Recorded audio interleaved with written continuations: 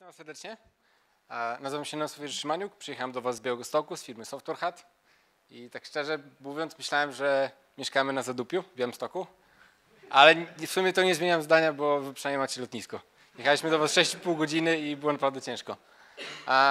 Jako firma Software Hut e, wpadliśmy parę miesięcy temu na pomysł, łącznie z grupą kilku osób, na pomysł tego, żeby jeździć po, po jakichś konferencjach, na, na samym początku mniejszych, potem na trochę większych i prezentować, e, głównie po to, żeby e, mm, przełamać własne jakieś e, mm, problemy psychiczne z, mm, z, z, pre- z, pre- z prezentacją przed większą publicznością, ale również z racji tego, że jako świat IT powinniśmy, tak mi się przynajmniej wydaje, tak nam się wydaje, powinniśmy dzielić się własną wiedzą, własnymi doświadczeniami, bo to jest po prostu fajne e, i dzięki temu możemy też zdobyć e, nowe doświadczenie, nowe znajomości, a też może nową pracę.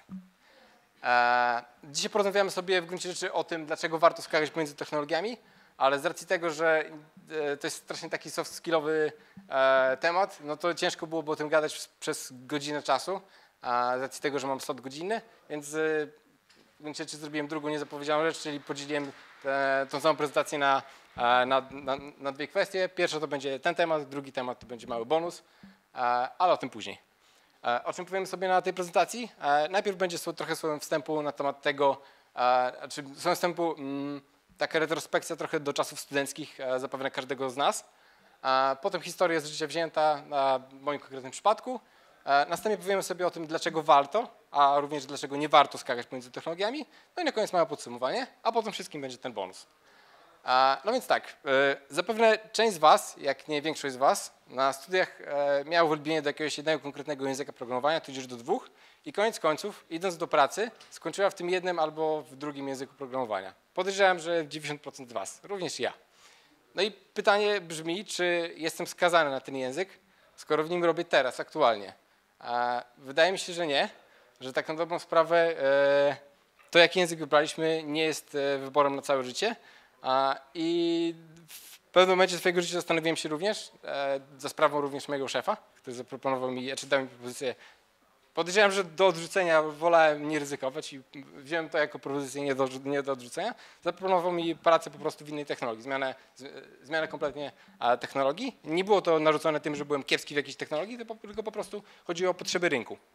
A, więc y, powinniśmy sobie również jako programiści zadać pytanie, a, czy zastanawialiśmy się nad tym, e, czy, czy chcielibyśmy wyjść ze, z, tej, z tej naszej strefy komfortu. Tak, znamy jakiś API, znamy jakiś język, e, jesteśmy w tym zajebiści, ale w sumie to, czy to jest e, spełnienie naszych wszystkich marzeń? A, według mnie nie, przynajmniej moich marzeń nie było to spełnienie i dlatego zastanowiłem się nad zmianą języka i to też właśnie uczyniłem. I według mnie technologia, nie język programowania nie jest wyrokiem na całe życie i nie powinien być wyrokiem na całe życie. Jeżeli będziemy się trzymać e, sztywno jednej technologii języka programowania, możemy utknąć w martwym polu, jak chociażby programiści jakiegoś Windows Phone'a, tak? Windows Phone'a już nie ma, więc musieli zmienić branżę, tak? Musieli zmienić, zmienić technologię. E, tylko ta zmiana te, m, języka czy zmiana technologii nie narzucana przez kogoś, nie narzucana na przykład przez, w tym przypadku przez Microsoft, który porzucił jakąś technologię, tylko przez nas samych, powoduje, że e, uczymy się mm, szybkiej zmiany technologii, szybkiego zmiany szybkiej zmiany języka, jesteśmy też dzięki temu dynamiczni. I dla mnie przynajmniej personalnie skakanie między technologiami jest trochę jak podróżowanie. E, Poznaję coś nowego, gdybym jeździł co weekend do jednego tego samego miejsca, no to znałbym to miejsce z, każdej podszewki, tak samo jak znam jakieś powiedzmy API, konkretny jakiś konkretny framework, a jeżeli zmieniam technologię, no to oczywiście napotykam pierdyliard jakichś głupich problemów wkurzających mnie w danej technologii, ale dzięki temu też poznaję świat, ten cały IT e, z różnych stron powiedzmy. E, Teraz przejdziemy do historii życia wziętej. Na studiach na samym początku, pewnie jak wielu z Was, przynajmniej u nas było tak na Politechnice Białostockiej, na samym początku mieliśmy taki odgórny narzut, że musimy robić coś w Javie, musimy pisać jakieś aplikacje konsolowe w Javie. No i w sumie, że to był narzut, to przyzwyczaiłem się do tego języka. Przy okazji kupiłem sobie jeszcze w międzyczasie jakiś pierwszy smartfon androidowy za jakieś tam pierwsze zarobione pieniądze. No i że to był Android, to mogłem też napisać jakieś aplikacje mobilne w Javie. Spodobało mi się to, byłem zajarany tym. Potem przyszły kolejne semestry, no i okazało się, że w Javie nie mogę zrobić czegoś fajnego UI-owo, w sensie wtedy jeszcze nie mogłem, bo był tylko Swift. A, a trzeba było napisać jakieś, jakieś aplikacje na zaliczenie, które były związane z, bardziej z UI, niżeli z, niżeli- z, z pod spodem funkcjonalnością danej aplikacji. Wtedy też przeniosłem się na C-Sharpa, pisałem coś w WPF-ie, trochę w ASP-ie I w międzyczasie e, mieliśmy taki bardzo dziwny przedmiot, na którym mieliśmy pulę dosłownie jakichś tam 200 pytań technicznych związanych bodajże z assemblerem, gdzie odpowiedzi na te pytania miały dosłownie po jednej stronie A4 i nikt się tego kompletnie nie chciał uczyć. Mieliśmy e, pulę pytań od jakichś poprzednich roczników, chcieliśmy sobie zrobić jakieś ściągi, no ale ciężko było raczej ściągać, nie mając do tego jakiegoś e, dobrego sposobu na ściąganie. Z racji tego, że pisałem wtedy w C-Sharpie, no to usłyszałem o Xamarin Android i postanowiłem te zebrane pytania przerzucić do jakiegoś XML-a, napisałem prostą aplikację, która listuje te pytania, można było sobie wejść, podpiąłem tam jakoś, jakiegoś lektora Iwony, odsłuchiwała te pytania na słuchawce Bluetooth, no i można było sobie pościągać. Później przyszło, przyszła pierwsza praca, był to bardzo krótki etap, pracowałem w Nokii. Byłem bardziej testerem, można powiedzieć, ponieważ e, robiliśmy pomiary sieci GSM. Była to o tyle spoko praca, że już wtedy, w pierwszej tej pracy, gdzie nie była to praca e, na pełen etat, czułem się jako taki mały trybik ogromnej maszyny, bez którego małego tego trybika, cała ta maszyna, czyli w tym przypadku ta Nokia i zespół tam kilkunastu osób, a, który był zależny od wyników mojej pracy, nie mógłby pracować, ponieważ ja zbierałem jakieś tam dane z, z, sieci BTS i gdybym ja nie pracował, no to wtedy team kilkunastu osób nie mógłby zacząć pracować i wtedy właśnie e, zacząłem trochę inaczej postrzegać ten świat IT. Potem poszedłem do pierwszej swojej już totalnie komercyjnej pracy, gdzie był, był pełen etat, jakieś tam benefity, takie typowe korpo. Pracowałem sobie w Java, w takim zajebiście dużym e, produkcie, który był rozwijany, którego początki sięgają lat 90., więc możesz się zastanowić, jaki to jest stary moloch. E, mieliśmy to dosłownie wszystko. Mieliśmy Java, mieliśmy JSP, mieliśmy JavaScript, mieliśmy Oracle'a, do tego integrację z SAP-em, przez TIPCO, przez kolejki JMS-owe, dosłownie wszystko. Ale z racji tego, że był to ogromny moloch, e, to cały ten produkt był napisany mm, nie wykorzystując najnowszych frameworków, nie wykorzystując najnowszych podejść, powiedzmy, programistycznych. E, pracowałem tam dwa lata i po dwóch latach stwierdziłem, że to jest zbyt nudne i że to mnie personalnie nie, nie rozwija, bo mimo, że e, dawaliśmy coś, co, na czym pracował, na czym pracował zespół e, kilkudziesięciu tysięcy osób, to dodanie jakiegoś jednego dużego feature'a tak naprawdę wymaga od nas niewielkiej pracy programistycznej i wkurzało mnie to, że nie rozwijałem się od strony IT, od strony kodu. Ponieważ tego kodu koniec końców nie produkowaliśmy dużo, było, było to bardziej taka praca półprogramistyczna, półkonsultingowa, czy jakkolwiek to nazwać. Potem zmieniłem firmę, E, na szczęście zostałem przy Javie, na szczęście dla mnie, ponieważ e, jakikolwiek przeskok między jedną a drugą pracą i wtedy zmiana technologii, no to pewnie byłby taki kryzys, żeby mnie wywalili z roboty. E, na szczęście poszedłem do innej pracy, w której również robiłem w Javie. Robiliśmy jakiś tam sobie nowy framework, kompletnie od nowa, korzystaliśmy ze Springa, więc mieliśmy nowe jakieś podejście. A do tego wszystkiego mieliśmy Hibernate'a, opakowaliśmy sobie w ogóle komunikację HTTP-ową przez WSO2. Tykaliśmy wszystkiego, co tylko możliwe, tylko po to, żeby zrobić proof of concept e, produktu, który będzie maksymalnie asynchroniczny od strony frontendowej dla backendu. No i właśnie wtedy też, czyli w aktualnej mojej pracy, dostałem e, po napisaniu tego proof of conceptu, dostałem propozycję od swojego szefa, że ty stary, mówiłeś mi na rozmowie rekrutacyjnej, że kiedyś coś tam robiłeś za Marinie. No pomyślałem spoko, ale ja to robiłem ze 4 albo 5 lat temu.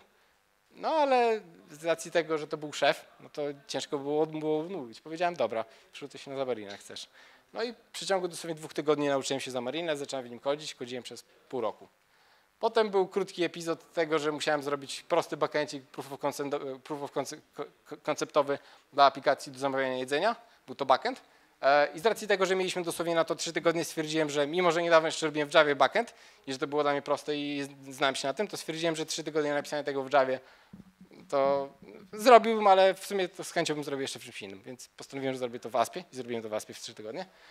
E, no i potem po tych trzech tygodniach przerzuciłem się, znaczy przenieśli mnie, albo dali mi propozycję, ale też jakby nie odmówiłem tej propozycji, bo wydało mi się spoko.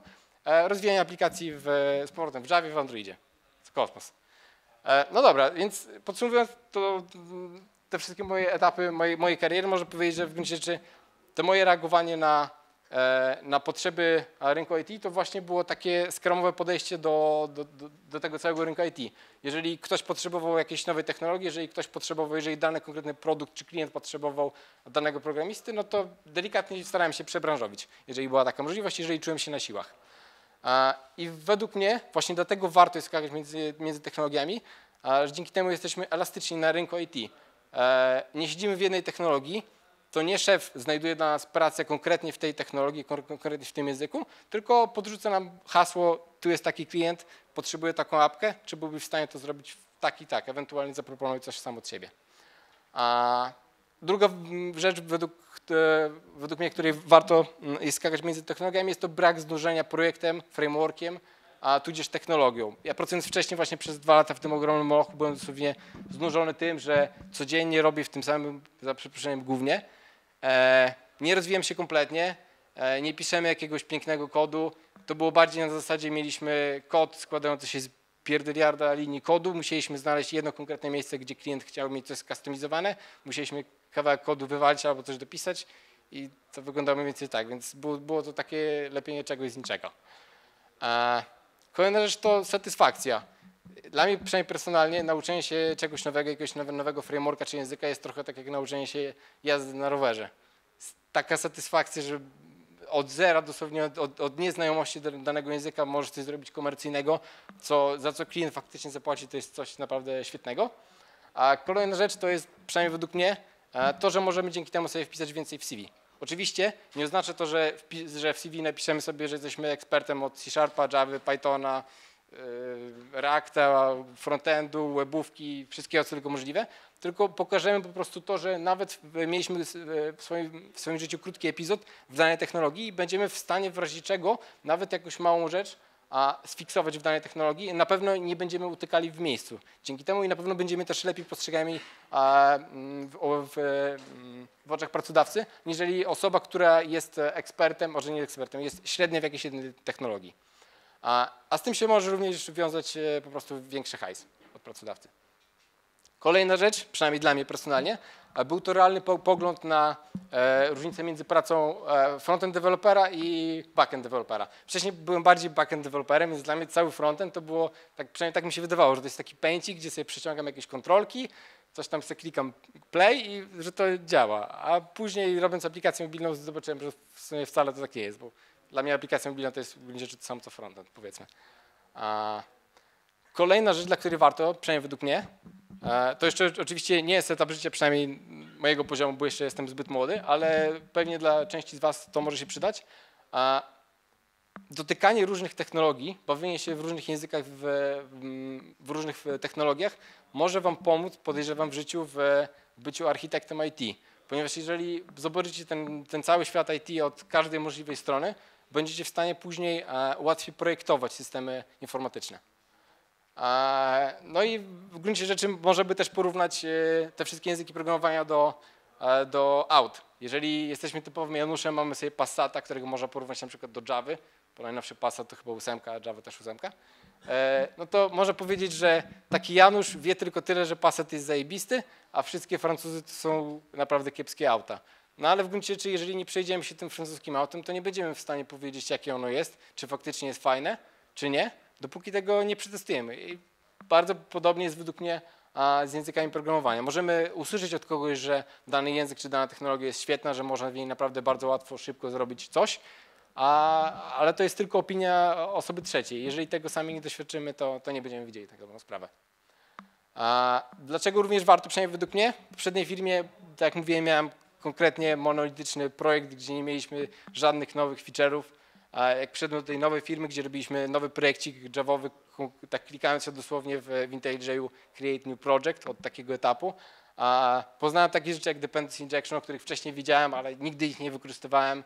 A wykorzystanie, e, nie pisanie skryptów tworzących baz danych, tylko wykorzystujące e, klasy, i, który inicjalizuje baz danych z kodu, a nie, a nie odwrotnie oraz podejście clean code'u, TDD i tworzenie pull requestów, dzięki któremu możemy, wykorzystując osoby inne w teamie, bardziej doświadczone, uczyć się sami na ich doświadczeniu, być pouczanym, no i dzięki temu też rozwijać się.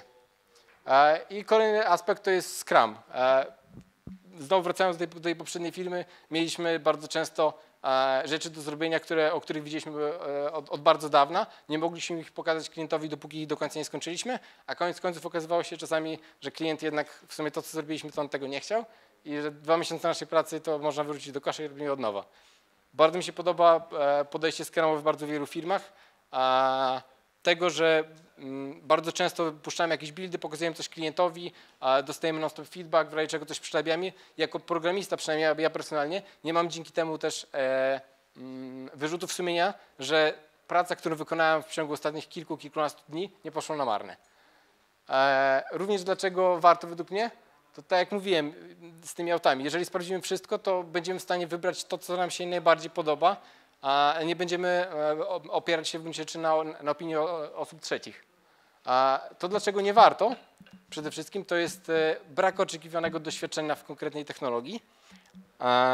Czyli to, jeżeli potrzebowalibyśmy z dnia na dzień zmienić język programowania, mówię o podejściu komercyjnym, no to raczej ciężko byłoby z dnia na dzień się czegoś nauczyć. Spoko, jeżeli to pracodawca daje Wam możliwość odbycia jakichś kursów, a w międzyczasie nauczania się czegoś, ale też e, wymaga to niestety ta nauka języków programowania. E, mm, wymaga tego, że będziemy tracić trochę niestety prywatnego czasu na to oraz by ta nauka będzie wiązała się ze stresem, a ponieważ nie będziemy pewni, czy, mm, czy wiedza, którą posiedliśmy na temat e, danego frameworka, danej technologii czy języka jest wystarczająca do celów komercyjnych. A, I tak mówiłem, kończy się poświęcania wolnego czasu na, na naukę, jeżeli nie zapewnia tego pracodawca. To są aspekty, dla których nie warto skakać między technologiami. E, podsumowując plusy, po pierwsze elastyczność w IT, po drugie hajs, po trzecie satysfakcja, e, no i poza tym zdobywanie wszechstronnego doświadczenia. E, minusy to przede wszystkim poświęcany prywatny czas. Według mnie nie ma więcej konkretnych minusów, dla których nie powinniśmy próbować czegoś nowego. Nie mówię konkretnie o stricte o, o podejściu komercyjnym, że powinniśmy od razu zmieniać jakąś technologię, tylko uczmy się, e, spędzajmy chociaż trochę tego wolnego czasu nad, nad doszkalaniem się, to jest naprawdę zajebiste. I w gruncie że to jest tyle z tej części prezentacji. I tak mówiłem, ciężko byłoby tu cokolwiek wyciągnąć na godzinę, nawet jeżeli to gadałbym już takie pierdoły, że zanudziłbym was. Dlatego przyjdziemy do drugiej części e, prezentacji, która będzie o Zamarin Forbesie, w którym pracowałem przez pół roku.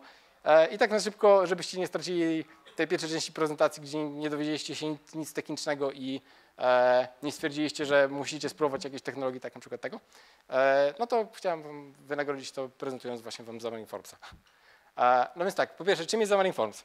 Xamarin Forms jest frameworkiem stworzonym którego początki sięgają gdzieś tam w okolicy 2010 czy 2011 roku, był stworzony przez Fundację Zamarin, który, e, która to została wykupiona bodajże dwa lata temu przez Microsoft.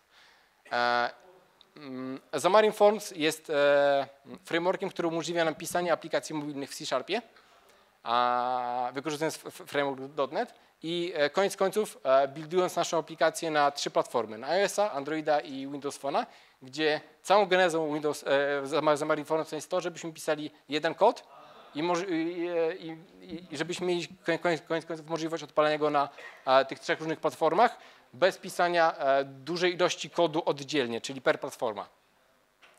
E, I to mi się właśnie przynajmniej personalnie zawsze nie podobało i teraz jak właśnie robię coś w, w Javie stricte w Androidzie, to mi się nie podoba to, że często muszę chodzić do teamu iOS-owego i pytać jak oni coś zrobili, żeby móc napisać coś podobnego, tylko że w Javie. E, I Xamarin Force jest o tyle zajebisty pod tym względem, że możemy całą logikę biznesową plus całą logikę związaną z podpięciem widoków właśnie do tej logiki biznesowej napisać tylko stricte raz i mieć bardzo niewielką ilość kodu e, pisanego per, platforma. Przeważnie jest to związane z jakimiś featureami UI-owymi, tudzież z jakimiś rzeczami, które nie są e, wszędzie dostępne. Na przykładzie iOS-a, gdzie nie możemy sobie mm, wyciągnąć jakiegoś pliku z dysku, czytaj z karty pamięci, jak na przykład na Androidzie, a na Androidzie można. I co jest jeszcze fajnego w Xamarin Formsie, to to, że koniec końców nasza aplikacja, mm, porównując to na przykład aplikacje Xamarin Formsowe do aplikacji napisanych w jakichś technologiach e, webowych typu jakiś tam Accelerator i tym podobne, że nasza aplikacja koniec końców nie będzie zawierała sobie jakiegoś dziwnego UI-a w środku, może trochę słabo tu widać, bo jest sobie kontrast, natomiast Xamarin Forms koniec końców e, mm, skompiluje naszą, naszą aplikację tak, żeby cały frontend korzystał z natywnych kontrolek UI-owych danej platformy. Czyli jeżeli mamy sobie jakąś, e, jakiegoś input teksta e, zdefiniowanego w Xamarin Formsie, to koniec końców na, na iOSie będzie on korzystał z natywnego e, edit teksta iOS-owego, na Androidzie z iOS-owego i na, na Windows Phone z Windows Phone'owego. Windows Phone'owego, whatever.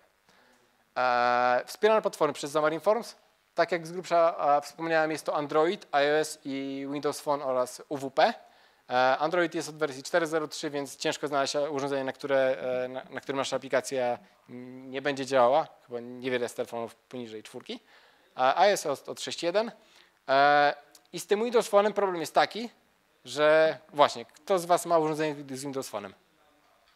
O, tak dużo. Dobra. No jakieś trzy osoby na mniej więcej, powiedzmy 60, 60 osób, tak? E, prawda jest taka, że z racji tego, że tych osób jest niewiele, tak jak Was, które mają Windows Phone'a, to wsparcie do tej platformy e, jest nikłe e, i jest tam mnóstwo bugów. Jest mnóstwo bugów, dlatego że jest mało użytkowników korzystających z Windows Phone'a. Im mniej użytkowników korzysta z Windows Phone, tym więcej jest bugów i to się tak nakręca, spirala i koniec końców ten Windows Phone teoretycznie jest wspierany, jak wejdziecie sobie na stronę e, Xamarin Formsa, znajdziecie info, że tak, tak, jest wspierany, ale koniec końców jakbyście chcieli e, odpalić nawet apkę na emulatorze, to znając życie po, po przejściu Hello World i po, e, w, tu, w, w tutorialu i po zagłębieniu się gdzieś trochę dalej, pewnie apka zaczęłaby się wykrzarzać czy coś, także standard. A, I tak jak przedstawione na, na wykreśliku, 90, y, przynajmniej w poprzednim roku 99,5% telefonów, smartfonów korzystało z Androida lub iOS-a, a nie z Windows Phone, ani jakiegoś tam BlackBerry czy czegoś innego. E, czego potrzebujemy, żeby zacząć zabawę z Xamarin Formsem? Po pierwsze jest to IDE, na, na Windowsie będzie to Visual Studio, na iOSie będzie to Xamarin Studio. E, jest już powoli, wychodzi jakaś tam wersja, e, bodajże ostatnio Microsoft wydawał wersję e, beta Visual Studio na, na, na OS. A co jeszcze potrzebujemy, jeżeli chcemy, żeby nasza aplikacja koniec końców, koniec końców mogła być zbudowana na Androida, a będziemy potrzebowali Java oraz Android SDK. Jeżeli chcemy, żeby aplikacja była zbudowana na, na telefon iOS-owy, będziemy potrzebowali Xcode'a. I tu się zaczynają małe schody, ponieważ o ile jeszcze Androida E, oraz Java można ściągnąć sobie na te obie platformy, czyli i na Windowsa i na OS Xa, to Xcode istnieje tylko i wyłącznie na, na, na OS Xa. I schody się zaczynają takie mianowicie, że nie możemy naszej aplikacji pisanej w Xamarin, e, pisanej w Xamarin, e, w Xamarin Formsie e, stricte tylko i wyłącznie korzystając e, z komputera z Windowsem, ponieważ będziemy potrzebowali koniecznie połączenie do jakiegoś OS Xa, żeby móc korzystać z Xcode'a, żeby móc zbuildować naszą apkę. E, live playery, e, ale mówisz o symulatorze czy o... Mhm.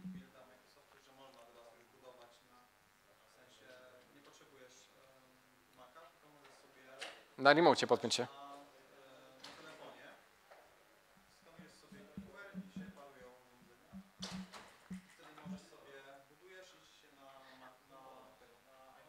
Znaczy tak, ale teraz mówisz o, o, procesie jakby e, debugowania albo, albo buildowania. Tak, tak. E, chodzi o, e, ci akurat o to, że mm, niedawno wypuścili taki feature, że można sobie podpiąć kabelkiem, że tak powiem, kabel USB do Windowsa.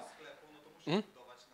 Tak, ale, ale nie, ale koniec końców, nawet jeżeli chcesz debugować, to i tak musisz to zrobić poprzez maszynę OS X-ową. Nie ma innej opcji. Są natomiast opcje takie, że możesz sobie wykupić OS X na godziny, a gdzieś w chmurze. Czyli może się podpiąć na, na remocie do takiego OS X za, za hajs ale zdecydowanie tańszą i bardziej cebulacką opcją jest postawienie sobie OS X na, e, na VMware. Jest to nielegalne trochę, ale, ale działa.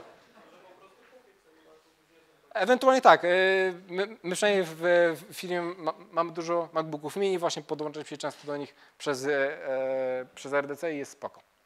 E, i analogicznie, jeżeli, e, mm, jeżeli korzystamy z OS X, a nie z Windowsa, to żeby zbuildować aplikację Androidową i iOS-ową nie potrzebujemy nic poza tym, co było wcześniej. Natomiast jeżeli chcemy, żeby nasza aplikacja e, powstała też, była zbuildowana też na Windows Phone, no to niestety musimy wrócić z powrotem do Windowsa.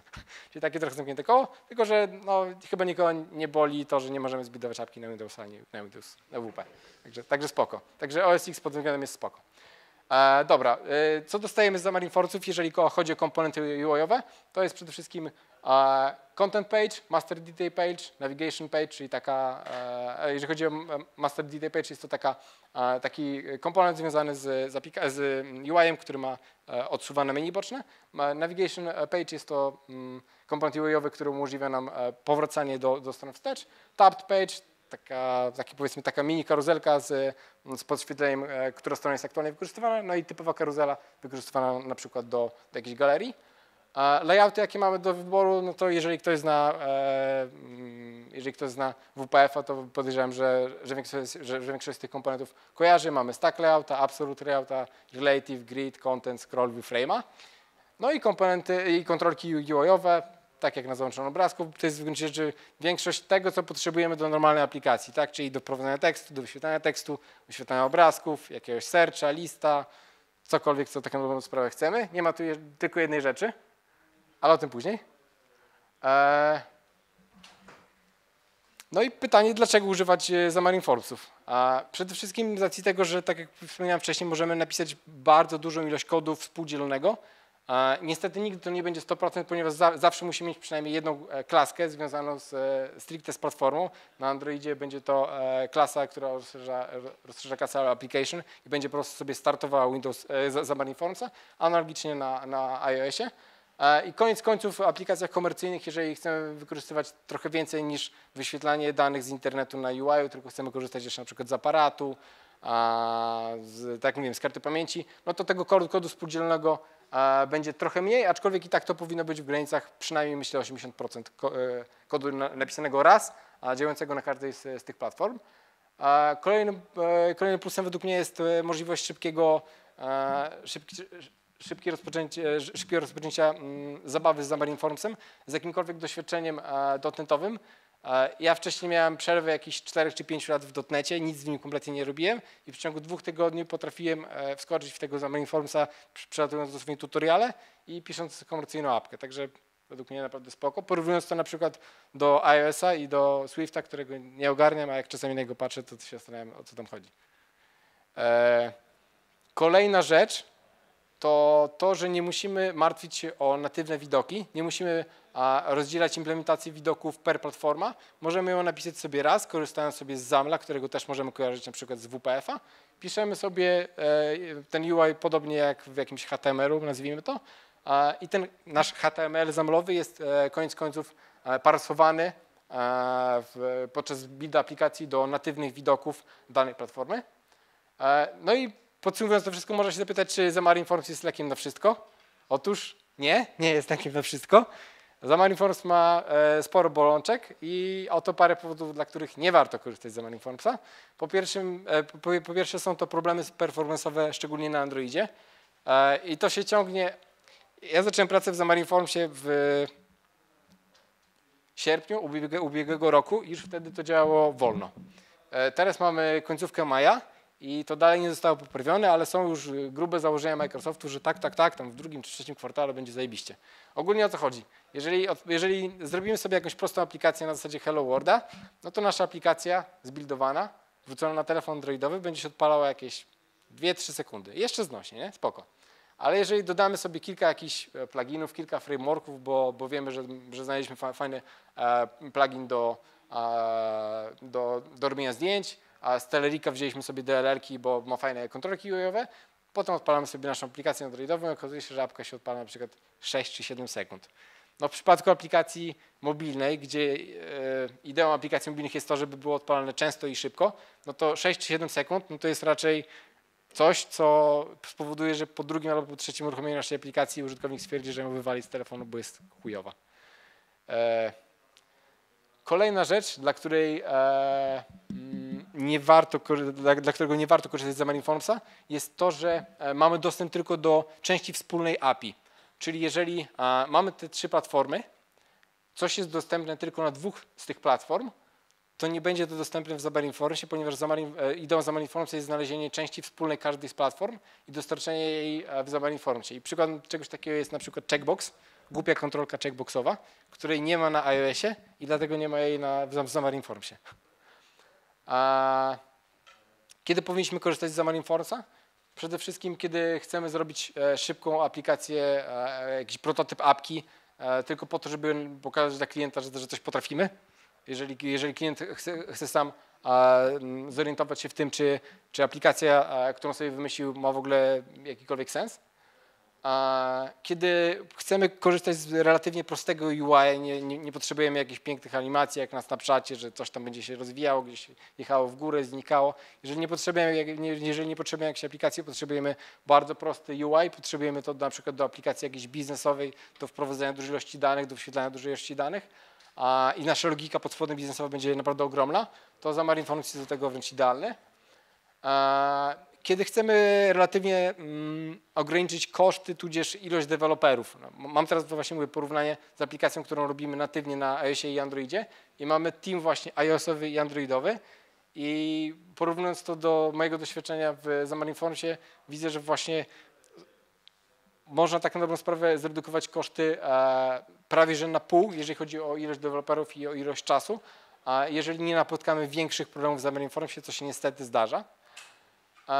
Kiedy powinniśmy skorzystać z, z, z technologii natywnych, nie korzystając z żadnych frameworków tak, typu Xamarin Forms czy, mm, czy, e, mm, czy inne technologie jakieś web, webowe, to przede wszystkim kiedy nasza aplikacja a performanceowo musi być e, po prostu idealna, kiedy performance jest w naszej aplikacji naj- najważniejszy, kiedy nasza apka musi się krytycznie szybko odpalać i nie ma opcji, że, że, że apka będzie działała 6-7 sekund, a Microsoft zapewni nas, że za rok to tam spadnie jakieś 2 czy 3 sekundy.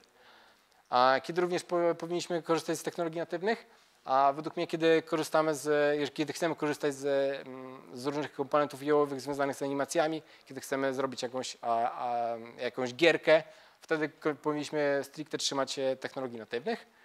A, no i jaka jest przyszłość tego, tego frameworka? Według mnie świetlana, na szczęście.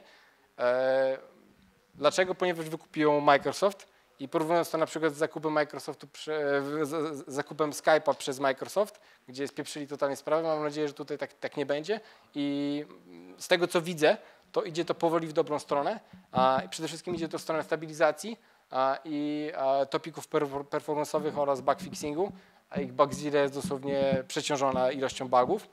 A, I e, jeszcze pod kątem tego performance'u, to chciałbym zaznaczyć, że aplikacja, e, którą zbildujemy, iOS-owa, odpala się mm, przynajmniej w, moim odczuciu e, analogicznie szybko i działa analogicznie szybko jak aplikacja natywna napisana w iOSie, więc dać się da, tylko widocznie tym, tym związany z, e, mm, z przepisaniem e, części androidowej trochę do dupy podczas pisania Xamarin Formsa.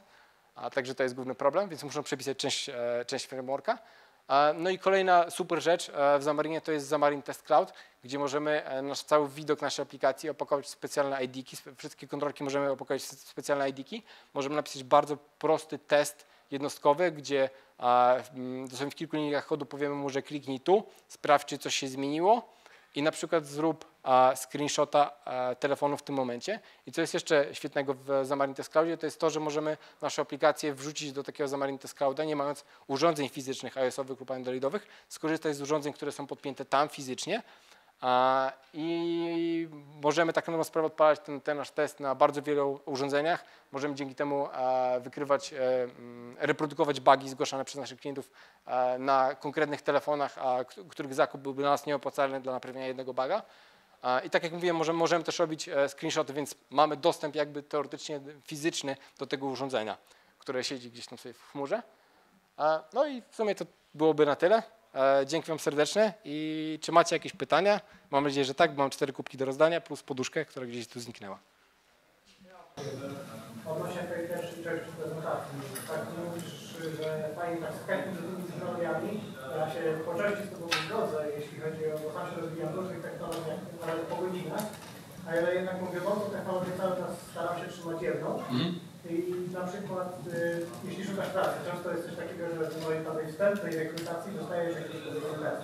Tam jest na przykład dużo smaczków, y, takich typowo stricte niepodstępnych. Jeżeli będziesz poznawał różne technologie, ale każdą po trochu, to do tych smaczków nie dojdziesz. I często na takim Masz rację. na takiej rekrutacji polegiesz wtedy, nie? To jest świetna uwaga. Kuba, jak się daje.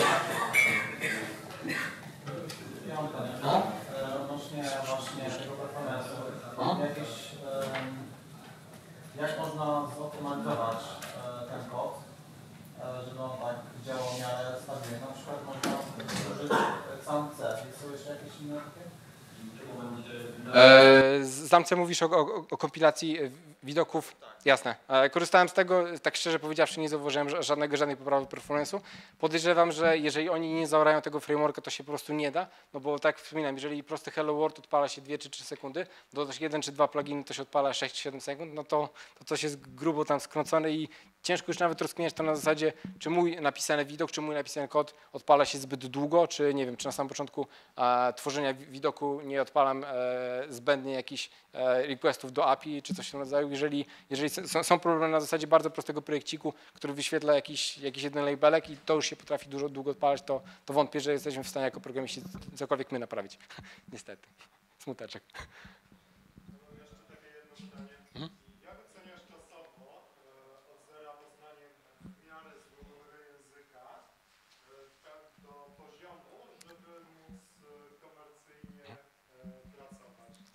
Wiesz co, ci- ciężko mi powiedzieć, bo i Java i C Sharpa poznałem, e, znaczy byłem takim studentem, który nie lubi zbyt dużo chodzić na, na uczelnię, ale lubiłem w domu sobie sam dużo kodować i Java i C Sharpa dużo poznawałem właśnie jeszcze podczas studiów, więc e, do tej pory mam też z- do czynienia głównie z tymi dwoma językami, także nie musiałem ich poznawać od zera, musiałem tylko skorzystać jakby z frameworków, które korzystały z, z tych języków, więc nie mam zbyt dużego doświadczenia między skakaniem między samymi językami, od tak sobie, nie wiem, id- id- idąc do jakiegoś Pythona czy, czy coś w tym rodzaju. Podejrzewam, że, że no, po, czy no, po- podejrzewam, że, że jeżeli przeskoczyłbym do języka skryptowego, to bym utknął w tym gdzieś na jakieś dwa miesiące i szef by mnie zwolnił z firmy. Mam takie pytanie, bo powiedziałeś, że Ciebie aplikacje mobilne to jest też część frontendu. Tak. I teraz generalnie frontend powoduje wyświetlanie danych, tak? No to ta logika biznesowa jest gdzieś po stronie serwera, czy no to, y, y, ale logika biznesowa jest po stronie aplikacji mobilnej. Teraz starali się nadaje do tego, że pozwala Ci zaoszczędzić raz napisanie logiki biznesowej. Więc jakie są aplikacje, które wymagają dużo logiki biznesowej po stronie samej aplikacji mobilnej? To praktycznie tej logiki biznesowej nie ma, to się dzieje po stronie serwera. Więc tak jakby nie ma zysku z tego, ponieważ to są same widoki. Czyli jakie nie aplikacji masz taki, że Ci bardzo dużo logiki biznesowej? E, Byłem e, swego czasu na projekcie z Xamarin Formsa związanej z aplikacją, która miała bukować loty e, i ilość requestów do backendu była tam e, horrendalnie ogromna, ilość e, jakiejś e, bardzo dziwnej logiki, e, która parsowała sobie potem wyniki z tego backendu, a była naprawdę horrendalnie ogromna i podejrzewam, że gdyby usiadły dwa teamy i miały tam bodajże 200 czy 300 endpointów podpiąć i napisać trochę logiki związanej z danymi, które przychodziły z backendu, to nie były dane stricte związane, może backend był źle napisany, to też jest e, swoją drogą. E, podejrzewam, że, że gdyby dwa teamy usiadły zaczęły to klepać, to, to powstałoby naprawdę mnóstwo bugów, e, ale to też właśnie pokazuje, że e, i to jest ni- niestety też problem e, często backendów, a często też klientów, którzy dostarczają backend, że często, przynajmniej my tak mieliśmy raz czy dwa, że klient dostarczył nam backend, powiedział, że chce mieć do tego aplikację mobilną i nie na zasadzie, że przeróbcie mi backend pod aplikację mobilną, tylko macie tu backend podepnijcie się. Więc do takich często backendów wtedy też trzeba pisać bardzo dziwną, durną logikę biznesową, której się nie. Czy nielogicznym rozwiązaniem w takim przypadku jest stawić własny komponent który logikę, zamiast to na mobilną? Podejrzewam, że, że, że, logiczniej. Natomiast y, tak, decyzja biznesowa, dokładnie. Jeden z slajdów pokazał Pan, e, że wspólny kod dochodzi w granicy od 80 do 50% myślę, że jest to mocno przesadzone. Zobaczymy potwierdzenie tych. E, Mamy aplikację, która jeszcze nie jest na storze, ponieważ klient z nią jeździ między klientami. To jest przykładowo, co aplikacja robi, tak? Bo jeśli, jeśli aplikacja ma dużo, tutaj kolega wspomniał, e, logiki biznesowej, to owszem, możemy, możemy ten, zwiększyć tego wspólnego kodu, aplikacja Znaczy, my, my akurat mieliśmy, pisaliśmy aplikację, która nie była stricte związana z samym wyświetlaniem, a tudzież przyjmowaniem danych i wysyłaniem tego, pchaniem od razu do backendu. Mieliśmy dosyć bardzo rozbudowany moduł związany z synchronizacją danych, e, z tym jak często one będą synchronizowane, co się z nimi, z nimi będzie działo w, w, trakcie, po jakim czasie wygasną i mm, coś w tym rodzaju, więc e, ta część logiki podejrzewam, że, że musiałaby być przepisana i mogą, po, powstałoby dużo roz- rozbieżności między Myślę, że biorąc pod uwagę sensowną nową aplikację mobilną, e, jakiegoś banku, to tutaj aż tak nie wiem, czy wiecie, ale Slack jest napisany za Marinie. tylko że nie jest napisane w Formsach, a jest napisane w... W ogóle Xamarin Forms składa się, czy powstał z Xamarin for Android i Xamarin for iOS, gdzie widoki piszemy natywnie i właśnie tą całą logikę biznesową mamy tylko jedną. Jedyne, co mamy też oddzielne, tak jak widoki, to mamy view modele oddzielnie. Więc y, są tam jakieś jeszcze aplikacje, jest, kilka sporych aplikacji, które są napisane w Xamarinie i w, w których była potrzeba tego, żeby napisać właśnie tą logikę biznesową. Nawet jeżeli nie było jej dużo, to czasami była po prostu skomplikowana i mm, był powód dlatego, dlaczego wykorzystać właśnie Xamarin, a nie technologię natywną. Ja mam jeszcze jedno pytanie odnośnie tego, jak wygląda podpinanie kodu natywnego do aplikacji. Czy to jest jeden projekt, dwa projekty? Jeżeli powiedzmy mamy, nie wiem, jakieś tam formularze, wiadomo, pobieramy dane, wyświetlamy nic trudnego, możemy użyć sobie sobie właśnie zamarina, tak. sobie ułożyć pracę, ale potrzebujemy, nie wiem, kamery. Tak? No i tyle co, no to jest jakaś tipologia w każdym miejscu, jak E, Jeżeli, jeżeli chodzi o jakieś e, komponenty, do których nie, nie mamy z, z, z, dostępu z, API Xamarin Formsowego, to piszemy sobie w zwyczajnym świecie, mam ogólnie e, projekt Formsowy, który składa się z projektu korowego i podprojektów per platforma. Piszemy sobie jeden interfejsik w tym korowym projekcie i implementujemy go per platforma, adnotując go tam jak, jakąś specjalną adnotacją i Xamarin Forms sam dowiaduje się, znaczy sam domyśla się, że skoro e, implementacja siedzi e, mm, w danym komponencie, na przykład związane z Androidem, to właśnie ta implementacja ma być użyta w, Androidzie. Natomiast jeżeli chodzi ogólnie o kamerę i takie dosyć podstawowe rzeczy, to jest mnóstwo pluginów, które już są napisane i które wymagają od nas, od strony Xamarin Formsa podpięcia e, Nuggeta, odpalenia jednej linki kodu z Xamarin Formsa i tak naprawdę nie implementowania nic per platforma, co najwyżej zainicjalizowania czegoś w, w jednej klasie stricte na Androidzie, jednej klasie stricte na iOSie na zasadzie i coś tam. Tak, tak, tak. Wspomniałeś o zmianach technologicznych, jeśli chodzi o. E, Jak w Twoim przypadku było, czy często też zmieniałeś e, tą część biznesową, czyli biznes, dla którego to, to robiłeś, telekomy, finansówka, automotyw i tak dalej. Jeżeli chodzi o, o, pierwszą firmę, to było właśnie Automotive, ale pracowałem tam przez dwa lata.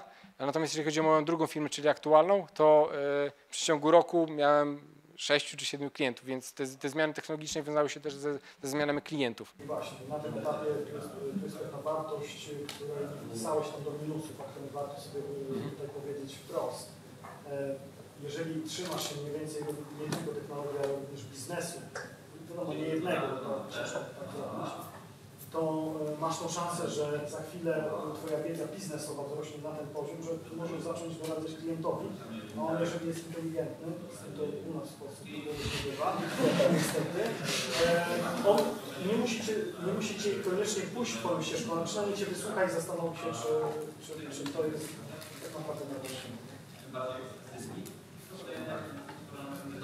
Jaki sposób sobie z O Jezu, nic nie mów. E, je, je, je, jeżeli chodzi o Xamarin Formsa, to tą aplikację skończyłem gdzieś w okolicach e, stycznia bodajże i ostatnio w maju z czystej ciekawości, bo widziałem, że było sporo orania w tym frameworku, e, odpaliłem sobie projekt formsowy, kliknąłem sobie update na, na nuggetach. Oczywiście aplikacja mi się nie zbuildowała, było tam mnóstwo jakichś tam e, problemów e, z, z sam buildem, bo, zmieniało się trochę API. Natomiast coś tam pofiksowałem, odpaliłem sobie apkę, na Androidzie działa, na iOSie przechodzę na stronę główną, nic, pusto, biało.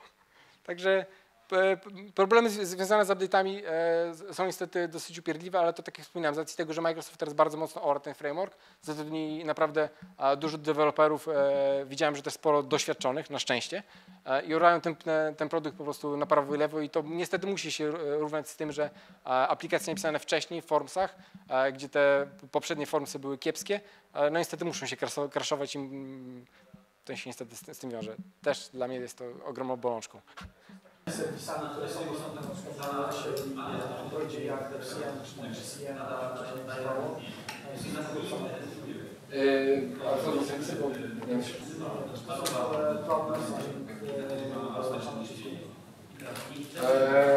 Podejrzewam, że, że jeżeli nie ma frameworka, który, który to obsługuje w Formsach jakiegoś zewnętrznego, a, to jeżeli znajdziesz coś, coś analogicznego na Androida lub nie, to może w zwyczajnym świecie napisać sobie, tak jak, mów- tak jak wspominałem, sobie interfejsik w e, projekcie głównym, napisać jego implementację na iOS-a, a na Androidzie nie będzie się działo w tym czasie nic. Nie, nie, oba rozwiązania są dostępne.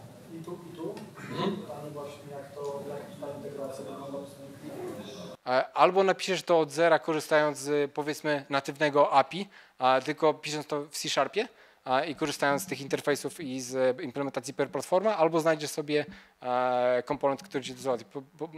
Znając życie, jeżeli, jeżeli coś jest e, na Androida, na iOS-a bardzo często, a nie jest na przykład na Windows Phone'a, to jest mnóstwo zewnętrznych właśnie frameworków, które, które to dostarczają. Dzięki temu aplikacja uruchamia się 3 sekundy dłużej.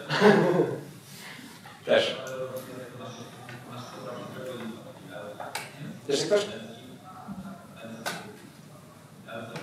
Dobra, to chyba tyle. Dzięki serdecznie.